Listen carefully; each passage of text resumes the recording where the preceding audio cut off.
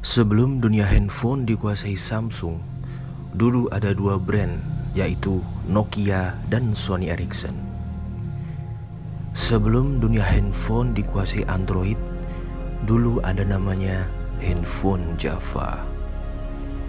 Sebelum dunia dikuasai handphone touchscreen, dulu ada namanya handphone dengan tombol-tombolnya. Oleh karena itu, handphone seperti Andromax Prime masih dicari dan diminati. Mungkin oleh orang-orang yang bosan dengan handphone touchscreen atau orang-orang yang ingin bernostalgia dengan kenangan-kenangan dulu. Andromax Prime bisa dibilang adalah kandidat yang tepat dengan sistem operasi Android yang dibilang masih mengikuti zaman dan dengan tombol keypad yang seperti handphone-handphone Java. Tapi bagaimana kalau kita ingin main game Java di Andromax Prime ini? Apakah bisa? Gimana caranya? Langsung aja ceki bro Pada video kali ini saya akan membagikan bagaimana langkah-langkah bermainkan game Java di Andromax Prime mulai dari download gamenya sampai setting tombol-tombolnya. Ini saya pakai Andromax Prime udah jelek. Logonya Bring Me The Horizon. Oke mantap caranya yaitu yang pertama harus download dulu J2ML loader APK nya nah ini saya udah download jadi saya nggak perlu download lagi. Buat teman-teman yang belum download bisa klik linknya di deskripsi. Ini saya sudah ada nih J2ML loader. Terus? Kita buka Google ya. Kita cari gamenya di Google dulu. Di sini saya pakai browser Chrome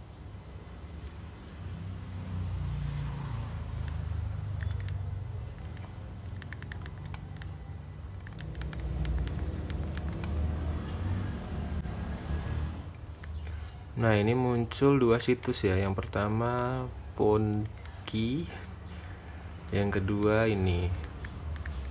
Mana tadi? Kedua Dedomil. Nah saya seringnya download di Dedomil ini. Tapi kalau teman-teman punya tempat download game Java yang lain Boleh. Yang penting gamenya bisa dimainin. Saya coba di Dedomil ya.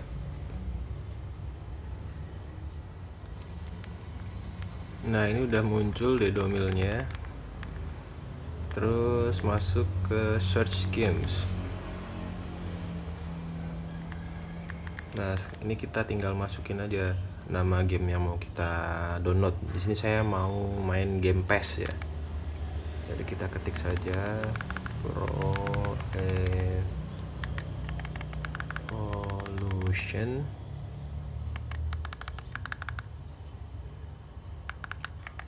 Soccer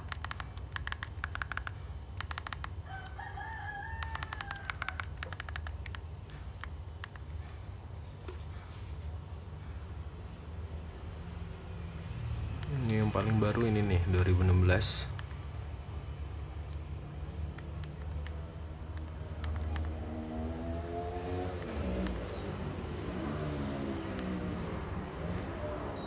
ini dimodif ya aslinya PES 2011 nggak apa-apa.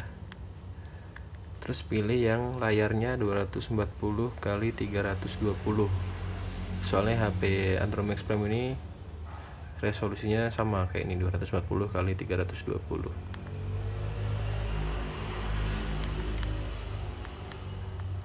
kita tunggu downloadnya. Terus tipsnya nanti kalau misal muncul banyak pilihan. Misal nih ini kan PES cuma satu nih munculnya. Saya mau nyari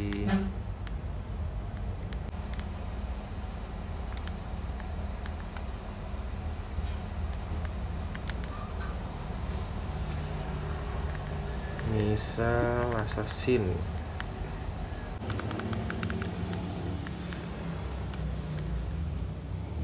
Hmm, ini munculnya kan banyak. Misal yang ini ya Assassin's Creed 3 ini kita pilih resolusi yang sesuai handphone kita yaitu 240 kali 320 terus pilih yang paling gede size nya karena biar gamenya bagus. Jadi seperti itu. Ini kan banyak nih ada yang satu ada yang 400an ada yang 900an 1,3 MB cari yang paling gede. Karena makin gede size nya dia makin bagus. Terus sudah ke download tadi paste nya langsung kita buka J2ML loadernya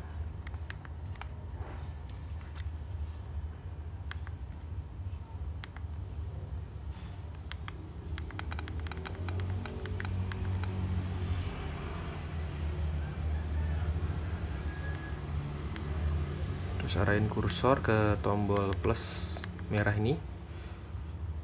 Terus geser ke folder tempat download gamenya tadi.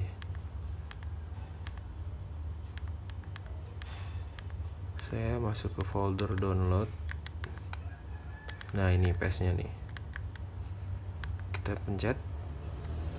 Ini lagi proses menginstal gamenya. Dikarenakan PES 2016-nya tidak bisa dimainkan, akhirnya saya download lagi PES 2011. Kita setting dulu tombol-tombolnya ini melalui sini nih, menu ini. Geser ke pengaturan, geser ke bawah. Terus ini nih, pemetaan tombol. Nah, ini kita pilih angkanya saja yang diperlu diisi.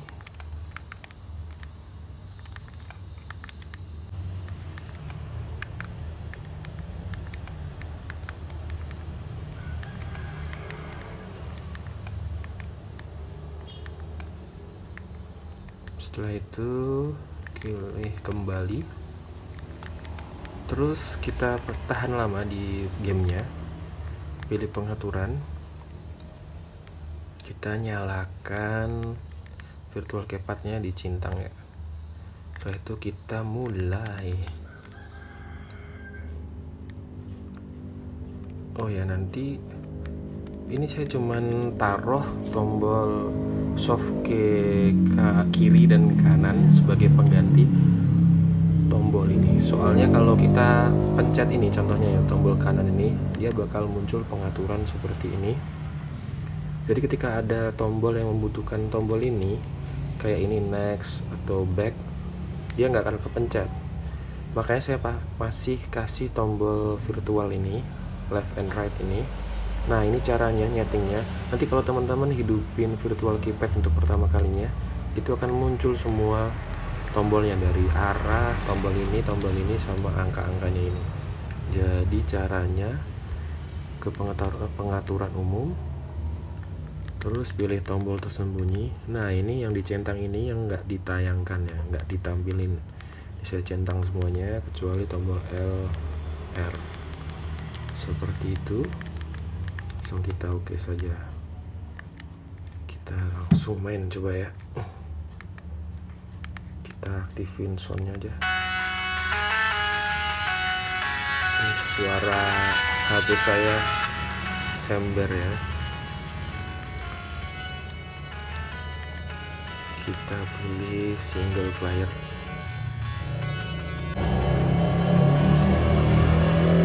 Match mode next saja. Saya mau pakai nah ini manred MU kita lawanin. London FC Chelsea ya yes.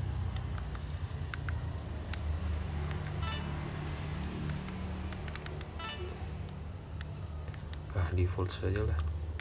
Nah ini backnya kan kalau pakai ini nggak bisa. Nah kalau mau ngeback jadi saya mana nih kursornya?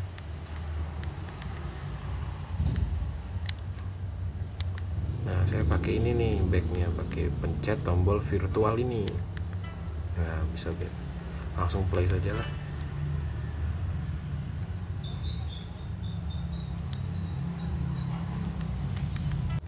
langsung skip saja lah kita main ya.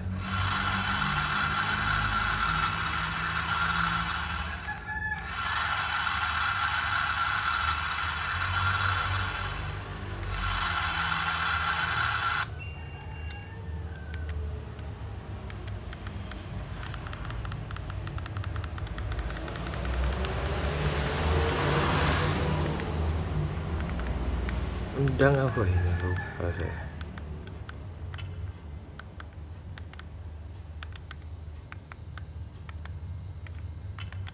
Oh itu nol endang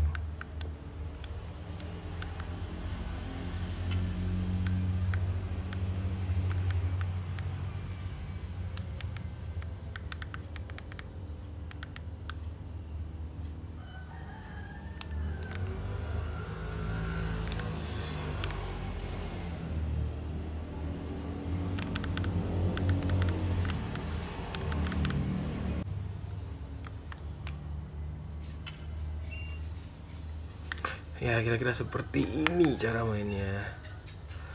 Saya juga sudah mendownload banyak game Java. Nanti kita coba mainin juga ya. Oke tunggu sebentar. Aduh nabrak guys.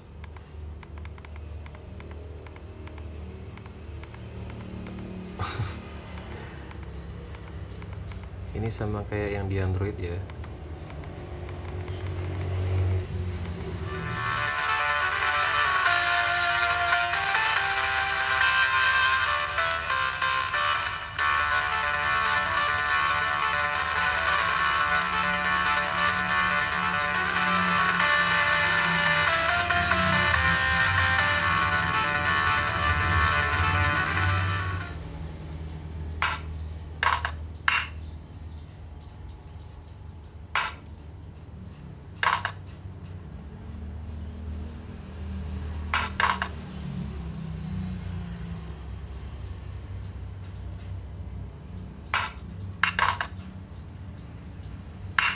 vez.